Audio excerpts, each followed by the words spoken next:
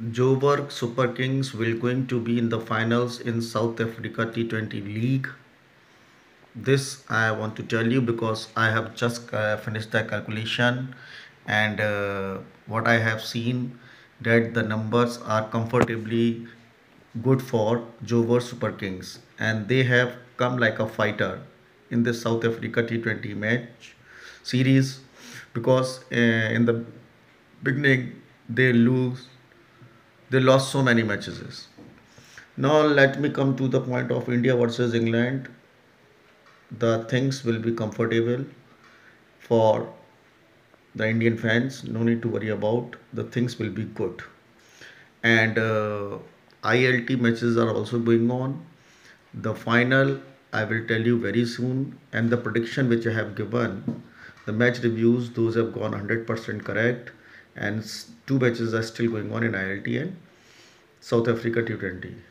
The predictions which I have given on EPL, Arsenal versus Liverpool match will going to be start. And after all such calculations I will go with Liverpool.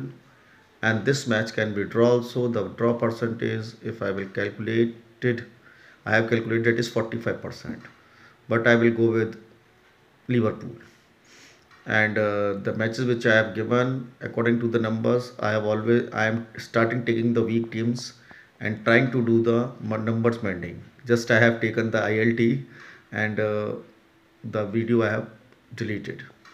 So things are going on. Now South Africa versus New Zealand this match is also on the target and uh, many people have asked about me. The calculation is going on. West indies versus australia odi second what i have said has gone like that. Afc cup i am still hoping that the things will be colorful for qatar. And under 19 world cup what is in my mind? My mind is saying that the things will be good. And uh, i will calculate the under 19 World Cup as well. So ACC Challenger and all the things T20 World Cup is going to become. Before that IPL is there. So Sunrisers Hyderabad I am looking because uh, as I am calculating so I have taken out this that Sunrisers Hyderabad would be a very good team in IPL this season. Thank you so much.